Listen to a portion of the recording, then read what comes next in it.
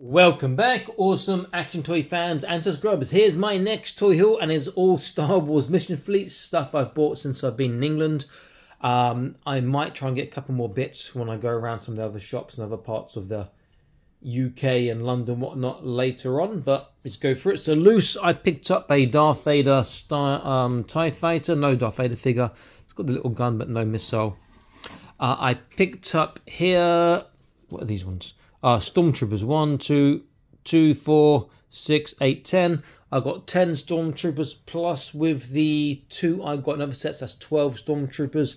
Scout Trooper at the top, Kylo Ren's um, TIE Whisper over there.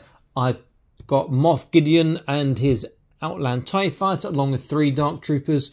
Two more uh, Ben Kenobi with the Eopie. Eopie. I got them more for the creature because they can work on 118 scale. Uh, Chewbacca with whatever vehicle that is. I got Obi-Wan Kenobi, I got 12 battle droids, and I got Darth Maul over here. So now the question is, do I open all these up and stick them in the box because it'll take a lot of space, or do I keep them them list? I don't know. Okay, just to let you know on price-wise, see this one here says twenty two ninety nine for the Eopie. That's in game, which is on Sports Direct in UK, and that's £6, those ones. Uh. Smith's has got these ones like this and this and those for under £5. And the big ships like the Kylo Ren one, Moff Gideon, and the um, Obi-Wan Kenobi Jedi Starfighter, I forgot to mention that. Those ones are just under 11 quid in W.H. Smith's.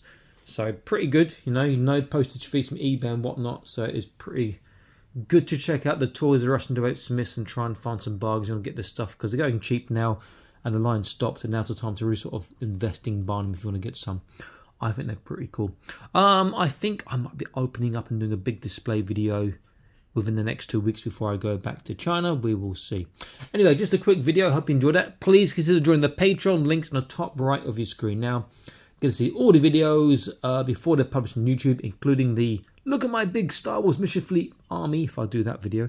Um, exclusive prize draws from time to time as well and also exclusive news from time to time too.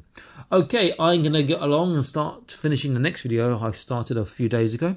So I will be uh, publishing that soon too. So I'll see you next video soon. Stay happy and keep collecting. Bye-bye.